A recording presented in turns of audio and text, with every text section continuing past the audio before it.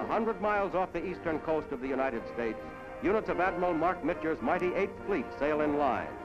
For this 15-ship task force, including the aircraft carriers Franklin D. Roosevelt, the Midway, and the Princeton, it's the beginning of six weeks of intensive maneuvers in the Atlantic Ocean.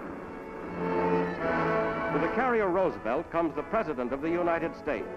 There's a traditional Navy welcome for Mr. Truman, who has interrupted his vacation cruise to spend two days at sea with the fleet.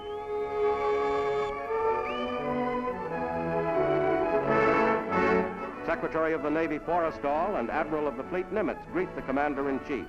With Admiral Mitscher, scourge of the Japanese Navy, President Truman goes on a tour of the 45,000-ton carrier, which is the mightiest in the Navy.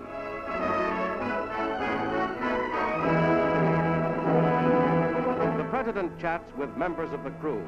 Many of them are new recruits, inexperienced, but under the rigorous training schedule ahead, they'll soon be old hands. Next morning at 4 o'clock, the carrier's planes prepare for dawn takeoffs, and the President is up to watch them. Over a hundred planes rise from the three carriers to strike at an imaginary enemy beyond the horizon.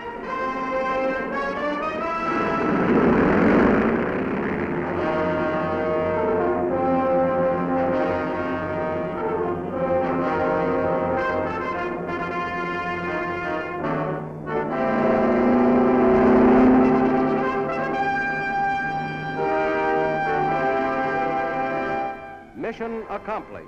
The planes come in to land.